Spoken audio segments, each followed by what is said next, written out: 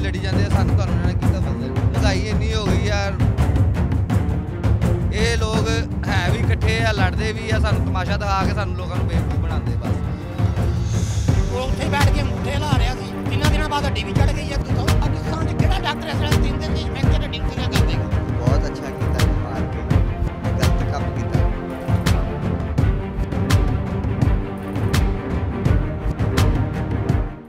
असलम नाजरीन, मैं हूँ आपका होस्ट अली हैदर। हम आपके लिए लेके आते हैं हर बार एक नई स्टोरी आज की स्टोरी जो है वो पंजाब असम्बली पर जो हंगामा आरई की गई थी, जिसमें स्पीकर पंज- पंजाब और उम्मीदवार वज़ीर अला पंजाब चौरी परवेज़ इलाही के ऊपर तशद का मामला जो है वो सामने आया था। उसके हवाले से उसका रद्द अमल जो है वो फैसलाबाद समेत मुख्तलिफ़ शहरों में दिखाई दे रहा है। मुस्लिम लीग काफ के जो कारकुनान हैं, उनकी जानब से एहतजाज की कॉल दे दी गई है।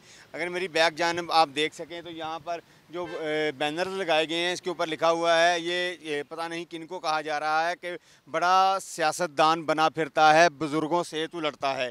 हमारे साथ कुछ शहरी मौजूद हैं उनसे जानेंगे कि ये बात क्यों कही जा रही हैं और किन के ख़िलाफ़ ये एहतजाज जो है वो किया जा रहा है। अस्सलाम वालेकुम वालेकुम सर। क्या हाल है? ठीक है सर अल्लाह क्या नाम है आपका? इमरान मेरा नाम है। अच्छा आपने पंजाब असम्बली की जो हंगामा राई थी वो देखी थी उसका असर जो है वो फैसलाबाद में होता दिखाई दे रहा है क्या कहेंगे इस हवाले से ਸਰ ਇਹ ਜਦੋਂ ਦੀ ਹਕੂਮਤ ਪਹਿਲੀ ਆਈ ਹੈ ਜਾਂ ਇਹ ਆਈ ਹੈ ਇਹ ਆਪਸ ਚ ਲੜੀ ਜਾਂਦੇ ਆ ਠੀਕ ਆ ਹਕੂਮਤ ਜਿਹੜੀ ਇਹ ਸਮਝਾਉਣ ਵਾਲੇ ਲੋਕ ਆ ਇਹ ਆਪਸ ਚ ਹੀ ਲੜੀ ਜਾਂਦੇ ਆ ਸਾਨੂੰ ਤੁਹਾਨੂੰ ਇਹਨਾਂ ਨੇ ਕੀਤਾ ਵਸ ਦੇਣਾ ਮਹਿੰਗਾਈ ਇੰਨੀ ਹੋ ਗਈ ਯਾਰ ਪਰੇਸ਼ਾਨ ਆ ਹਰ ਬੰਦਾ ਅੱਛਾ ਕਹਿੰਦੇ ਸੀ ਕਿ ਹਕੂਮਤ ਅਗਰ ਚੇਂਜ ਹੋ ਜਾਏਗੀ ਤੇ ਡਾਲਰ ਵੀ ਘਟ ਜਾਏਗਾ ਡਾਲਰ ਵੀ ਵੱਧ ਗਿਆ ਵਾ ਮਹਿੰਗਾਈ ਵੀ ਘਟ ਜਾਏਗੀ ਉਹ ਮਹਿੰਗਾਈ ਵੀ ਵੱਧ ਗਈ ਹੈ ਕੀ ਕਹੋਗੇ ਸਰ ਜੀ, ਅਸੀਂ ਤਾਂ ਇਹੀ ਕਵਾਂਗੇ ਕਿ ਅਸੀਂ ਰੋਜ਼ੀ ਰੋਟੀ ਮਾੜੇ ਲੋਕ ਆ, ਮਾੜੇ ਰੋਜ਼ੀ ਰੋਟੀ ਕਮਾਉਣ ਵਾਲੇ 1200 ਲੈ ਲੋਕ ਆ। ਇਹ ਲੋਕ ਹੈ ਵੀ ਇਕੱਠੇ ਆ, ਲੜਦੇ ਵੀ ਆ, ਸਾਨੂੰ ਤਮਾਸ਼ਾ ਦਿਖਾ ਕੇ ਸਾਨੂੰ ਲੋਕਾਂ ਨੂੰ ਬੇਵਕੂਫ ਬਣਾਉਂਦੇ ਬਸ।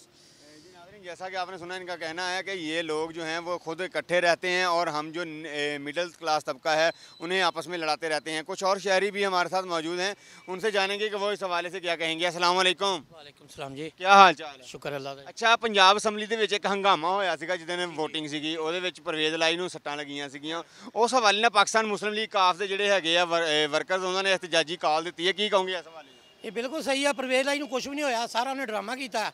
ਉਹ ਉੱਥੇ ਹੀ ਬੈਠ ਕੇ ਅੰਗੂਠੇ ਲਾ ਰਿਹਾ ਸੀ। ਤਿੰਨਾਂ ਦਿਨਾਂ ਬਾਅਦ ਹੱਡੀ ਵੀ ਚੜ ਗਈ ਹੈ ਦੱਸੋ ਪਾਕਿਸਤਾਨ 'ਚ ਕਿਹੜਾ ਡਾਕਟਰ ਇਸ ਵੇਲੇ ਤਿੰਨ ਦਿਨ ਦੇ ਫ੍ਰੈਕਚਰ ਹੱਡੀ ਨੂੰ ਸਿੱਧਾ ਕਰ ਦੇਗਾ? ਕੋਈ ਹੈ ਸਾ ਦੱਸੋ, ਮੈਨੂੰ ਤੁਸੀਂ ਦੱਸ ਦਿਓ। ਇਹ ਐਵੇਂ ਡਰਾਮਾ ਹੈ। ਇਹ ਰੋ- ਇੰਨਾ ਚਿਰ ਅੱਗੇ ਤੂੰ ਰਿਹਾ, ਹੁਣ ਸਬਰ ਕਰ ਲੈ। ਜੇ ਇਮਰਾਨ ਖਾਨ ਦੇ ਆ, ਤੁਸੀਂ ਪੌਣੇ 4 ਸਾਲ ਹਕੂਮਤ ਕੀਤੀ ਆ ਉਹ ਹੁਣ ਜੇ 10 15 ਦਿਨ ਆ ਗਏ ਤਾਂ ਹੌਸਲੇ ਨਾਲ ਤੇ ਪਵੋ ਹਾਰ ਨੂੰ ਹਾਰ ਵੀ ਮੰਨ ਲਓ ਇੱਕ ਵਾਰੀ, ਕੋਈ ਗੱਲ ਨਹੀਂ, ਜੇ ਤੇਰੇ 'ਚ ਏਡੀ ਪਾਵਰ ਸੀ, ਤੂੰ ਆਪਣੇ ਵੋਟ ਪੂਰੇ ਕਰ ਦਿੰਦਾ। ਤੇਰੇ ਆਪਣੇ ਬੰਦੇ ਸਾਰੇ ਵੇਗੇ ਉਹ ਲੋਟੇ ਬਣੇ। ਇਹਦੇ ਉੱਪਰ ਇੱਕ ਨਾਰਾ ਲਿਖਿਆ ਹੋਇਆ ਬੜਾ ਸਿਆਸਤਦਾਨ ਬਣਾ ਫਿਰਤਾ ਹੈ ਬਜ਼ੁਰਗੋਂ ਸੇ ਤੂੰ ਲੜਦਾ ਹੈ ਕਿਹਨੂੰ ਕਹਿ ਰਹੇ? ਇਹ ਮੈਨੂੰ ਲੱਗਦਾ ਹੈ ਜ਼ਰਦਾਰੀ ਨੂੰ ਕਹਿੰਦਾ ਹੋਏਗਾ ਤਾਂ ਕਿ ਪਾਵਰ ਤੇ ਹੋਈ ਆ ਇਸ ਟਾਈਮ ਸੁਪਰ ਪਾਵਰ ਤੇ ਹੋਈ ਆ ਜਿਹਦੇ ਕੋਲ ਇਹ ਸਾਰੇ ਚੱਲੇ ਆ ਤੇ ਜਿਹਨੇ ਸਾਰਿਆਂ ਨੂੰ ਇਹਨਾਂ ਨੂੰ ਵਾਰ ਦੇਣਾ ਫੜ ਕੇ। ਔਰ ਇਲੈਕਸ਼ਨ ਵੀ 6 ਮਹੀਨੇ ਚ ਵੀ ਨਹੀਂ ਹੋਣਾ ਇਹ ਬਹੁਤ ਦੂਰ ਪੈ ਗਿਆ ਇਲੈਕਸ਼ਨ ਨੂੰ। ਇਹਨਾਂ ਦਿਲ ਚ ਭੁਲੇਖੇ ਨੇ ਕਿਸੇ ਗੱਲ ਦੇ। ਇਹ ਸੜਕਾਂ ਬਲਾਕ ਕਰ ਦਿੰਦੇ ਨੇ ਰੋਜ਼ ਸ਼ਾਮ ਨੂੰ ਇੱਥੇ 50 ਜ਼ਨਾਨੀਆਂ ਵਿਚਾਰੀਆਂ ਪਰੇਸ਼ਾਨ ਹੁੰਦੀਆਂ ਨੇ। ਕਦੀ ਇਹ ਰੋਡ ਬਲਾਕ ਕੀਤਾ ਹੁੰਦਾ ਕਦੀ ਉਹ ਕੀਤਾ ਹੁੰਦਾ। ਰੋਜ਼ੇਦਾਰ ਲੋਕ ਨੇ ਬੀਵੀਆਂ ਬੱਚੇ ਨਾਲ ਬਿਠਾਏ ਹੁੰਦੇ ਤੇ ਜ਼ਲੀਲ ਕਰਦੇ ਲੋਕਾਂ ਨੂੰ। ਇਹ ਚ ਕੀ ਮਿਲਣਾ ਇਹਨਾਂ ਨੂੰ ਇਹ ਕਰਕੇ? ਜਿਹੜਾ ਵਕਤ ਗੁਜ਼ਰ ਗਿਆ ਉਹ ਅੱਛਾ ਸਮਝਣ ਬਸ ਕੀ ਫਿਰ ਇਲੈਕਸ਼ਨ ਲੜਨ। ਵਕਤ ਆਏਗਾ ਇਲੈਕਸ਼ਨ ਲੜਨ ਜਿੱਤ ਜਾਣ ਕੋਈ ਗੱਲ ਨਹੀਂ। ਲੇਕਿਨ ਇਦਾਂ ਦਾ ਨਹੀਂ ਜਿੱਤਣਾ ਜਿਹੜਾ ਪਿਛਲੀ ਵਾਰ ਜਿੱਤਿਆ। ਪਰਵੇਜ਼ ਲਾਈ ਨੂੰ ਕੀ ਪੈਗਾਮ ਦੇਣਾ ਚਾਹੋਗੇ? ਇਹ ਇhtਜਾਜ ਨਾਲ ਕੋਈ ਫਾਇਦਾ ਹੋਏਗਾ ਕਿ ਨਹੀਂ? ਅਸੀਂ ਤਾਂ ਪ੍ਰਵੇਸ਼ ਲਾਈ ਨੂੰ ਇਹ ਕਹਾਂਗੇ ਕਿ ਜਿਸ ਤਰ੍ਹਾਂ ਬੈਠਾ ਚੁੱਪ ਕਰਕੇ ਬੈਠਾ ਰਹਿ ਵਕਤ ਦਾ ਇੰਤਜ਼ਾਰ ਕਰ। ਪਰੇਸ਼ਾਨ ਨਾ ਕਰ ਲੋਕਾਂ ਨੂੰ। ਅਗਰ ਦੇਖਿਆ ਜਾਏ ਪਰਵੇਜ਼ ਲਾਈ ਨੂੰ ਚਾਹੀਦਾ ਸੀਗਾ ਕਿ ਜਿਹੜੀ ਉਹਦੇ ਕੋਲ ਸਪੀਕਰਸ਼ਿਪ ਸੀਗੀ ਉਹ ਰੱਖਦਾ। ਆਰਾਮ ਨਾਲ ਵਜ਼ੀਰ ਆਲਾ ਬਣਨ ਦੇ ਖਾਬ ਨਾ ਦੇਖਦਾ। ਠੀਕ ਆ ਉਹ ਆਰਾਮ ਨਾਲ ਸਪੀਕਰ ਜਿਹੜਾ ਆਪਣਾ ਰੱਖਦਾ ਤੇ ਰੱਖ ਕੇ ਉਹਦਾ ਪ੍ਰੋਟੋਕੋਲ ਇੱਜ਼ਤ ਹੈਗੀ ਸੀ ਹੁਣ ਤੂੰ ਆਪਣੀ ਇੱਜ਼ਤ ਗਵਾ ਲਈ ਹੈ ਅਸੈਂਬਲੀ ਜਾ ਕੇ ਰੌਲਾ ਗਲਾਵਰੀ ਪਾ ਕੇ ਲੜਾਈਆਂ ਝਗੜੇ ਪਵਾ ਕੇ। ਇਹ ਤੂੰ ਆਪਣਾ ਆਪ ਹੀ ਕੰਮ ਖਰਾਬ ਕਰ ਲਿਆ ਕਿਸੇ ਦਾ ਕੋਈ ਕਸੂਰ ਨਹੀਂ। ਅਸੀਂ ਇਹੀ ਕਹਾਂਗੇ ਕਿ ਆਰਾਮ ਨਾਲ ਬੈਠਾ ਰਹਿ ਵਕਤ ਦਾ ਇੰਤਜ਼ਾਰ ਕਰ।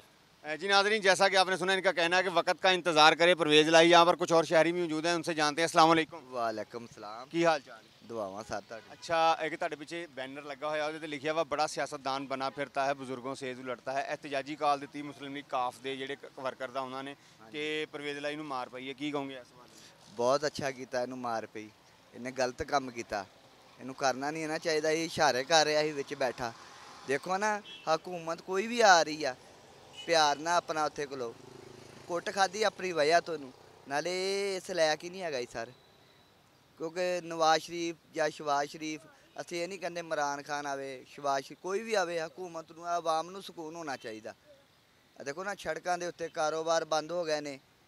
ਆਹ ਦੇਖੋ, ਮਾਰਕੀਟ ਵੇਲੀ, ਫੁੱਲਾਂ ਵਾਲੇ, ਕੋਈ ਵੀ ਸ਼ੈ ਲਾ ਲਓ, ਤੁਸੀਂ ਵਿਹਲੇ ਬੈਠੇ ਹਾਂ ਅਸੀਂ। ਜਦੋਂ ਹਕੂਮਤ ਲੜੇਗੀ ਰੋਡ ਤੇ ਤੇ ਕੰਮ ਨਹੀਂ ਹੋਏਗਾ।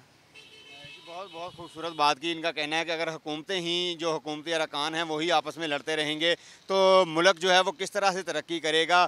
सड़कें जो हैं वो सुनसान हैं, कुछ गर्मी की वजह से है, कुछ हुकूमत के बाइस जो है, ये तमाम सड़कें जो हैं वो सुनसान है। अगर आप मेरी बैग जानब देख सकें तो पूरे फैसलाबाद में ऐसे ही पम्फलेट जो हैं वो लगाए गए हैं। जिसके ऊपर मुस्लिम लीग काफ की तरफ़ से एहतजाजी कॉल दी गई है और ये एहतजाजी धरना जो है वो दिया जाएगा उन अफराद के खिलाफ जिन्होंने परवेज लाही को जदोकोब किया है।